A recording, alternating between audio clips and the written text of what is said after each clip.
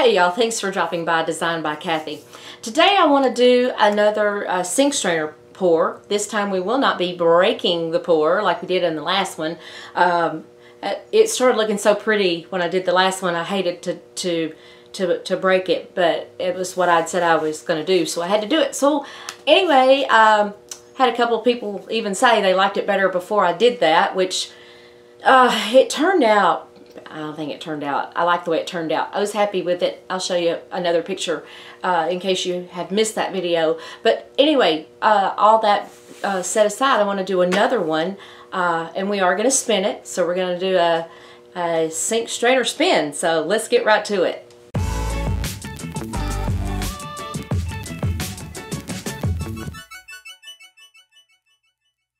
So I have here a 12 by 12 canvas, 2 inch deep and I've got it taped down to my little board which my board is glued down to my cake turner.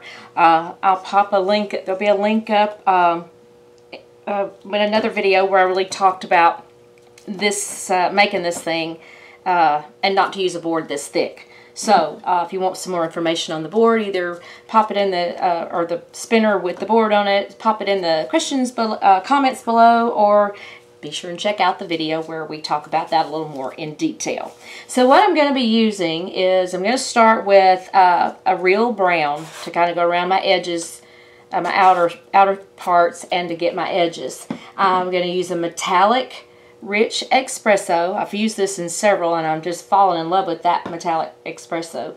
I've got uh, territorial beige and I've got teddy bear tan and then for my splash of color here, I have red rust. Uh, I saw some throw pillows the other day that had these colors in them, and I thought, oh, I like those because y'all know I love, love, love, love red. So, what I want to do first, moving on, is get my, um, my outer edges ready.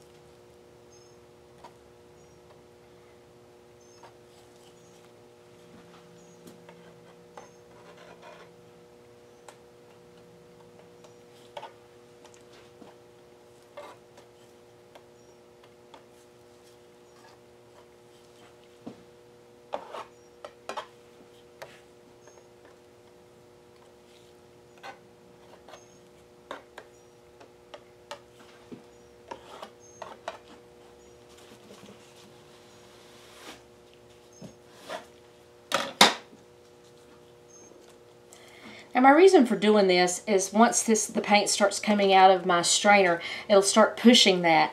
I don't want to have to push so much paint that I lose my design. So I want to wanted to have this this perimeter around it to have something to hopefully uh, keep a bit of my design on there.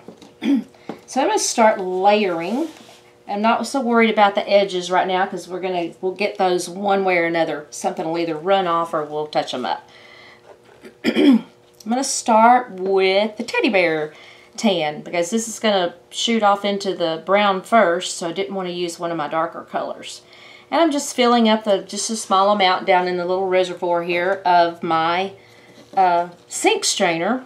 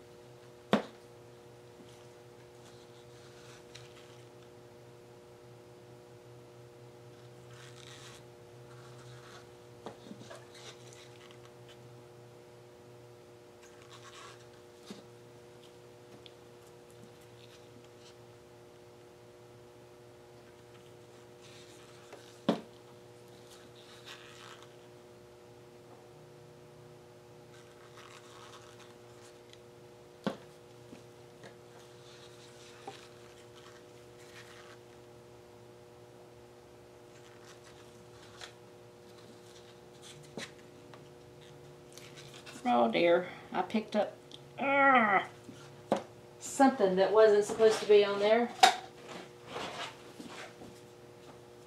Almost eat tweezers.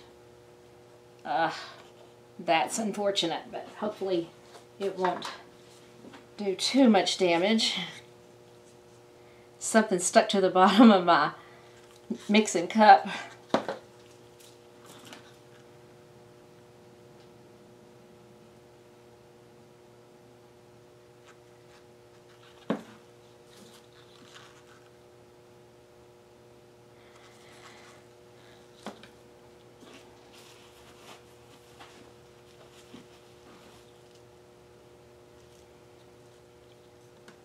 Me see. I'm going to see if I can...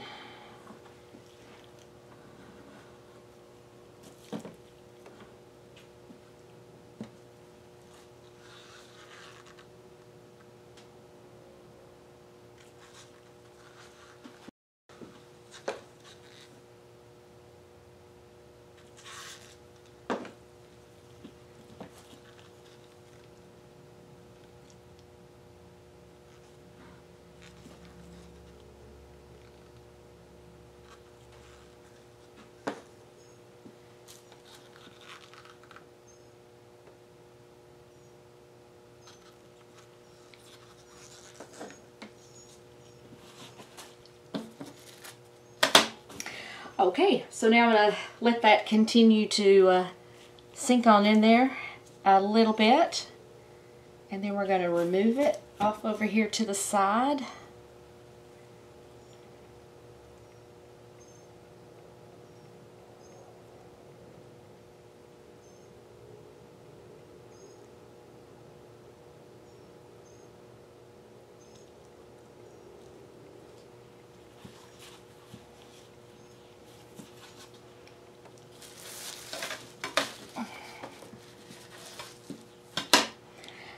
Okay, I'm gonna uh, mute the sound because my, my little board here makes a lot of racket, but we're gonna start spinning now.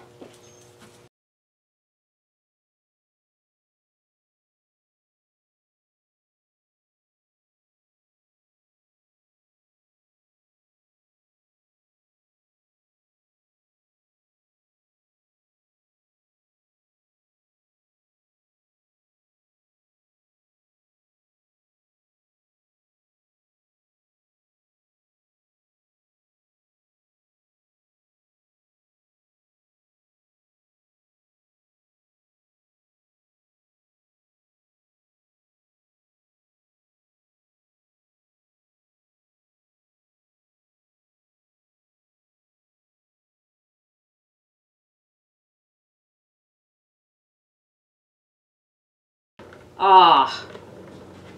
Oh, guys. If y'all could see my face right now, I'm so happy. This may go on and tilt off. I don't really mind the brown.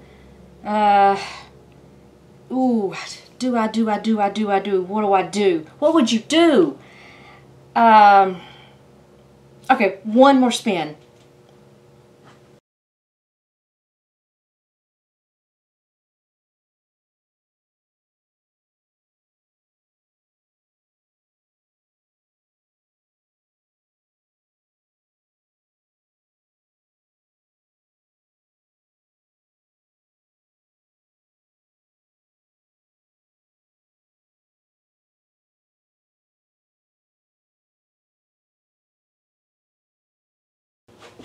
Ah, okay.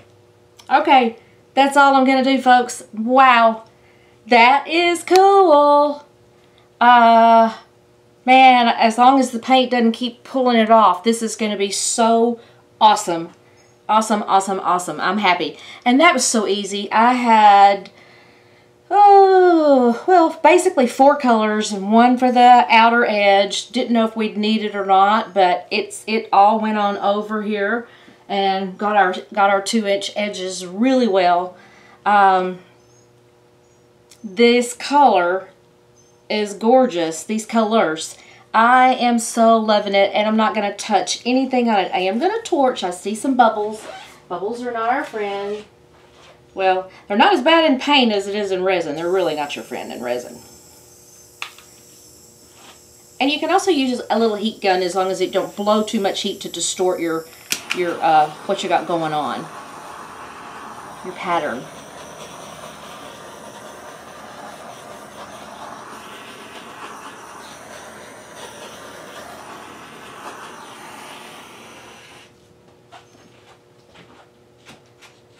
Ah, oops. Okay, y'all, thanks for stopping by. I appreciate you taking a, a, look at my video, and I hope you enjoyed this.